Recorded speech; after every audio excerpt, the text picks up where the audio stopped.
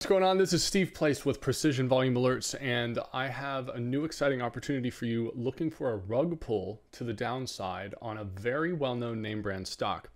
In this video, I'm going to step through the mechanics of what we're looking for, the potential profit for it, and how you can get involved with it. So let's go ahead and hop over really quick for a case study of a trade that we just did recently. And this is an NVIDIA, all right, a semiconductor stock. Um, it had a very nice run, ran up to about $800, and it had an event. See this S down here? That is the stock split. It was a four to one stock split, I'm pretty sure.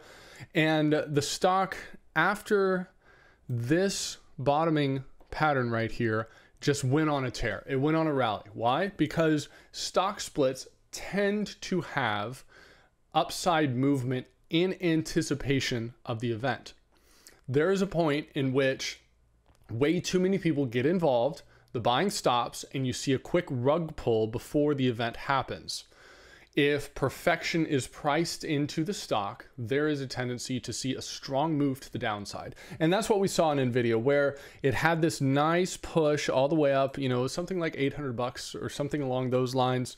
And then right around here, I sent an alert out to Precision Volume Alerts clients to pick up some long puts. Those are bearish positions. So instead of shorting stock, we're buying puts. And then we saw a very strong move to the downside. On the first tier, we were able to capture, I believe it was a 53% return on risk. And then the second closing out trade, we got 114% return on risk. And that was right at the lows on the stock. All right. So that's the kind of profit potential that you can have on these kinds of moves. So fast forward to today, and we have a, a new trade setup with a company that's very well known. And about three weeks from now is an earnings date. Okay.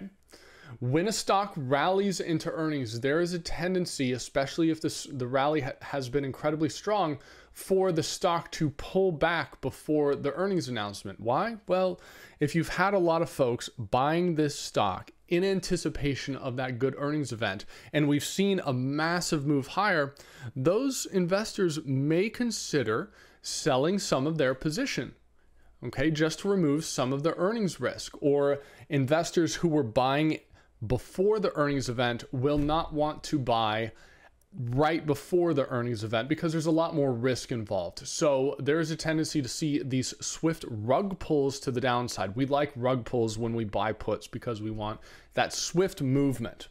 So we sent out a trade alert on Friday.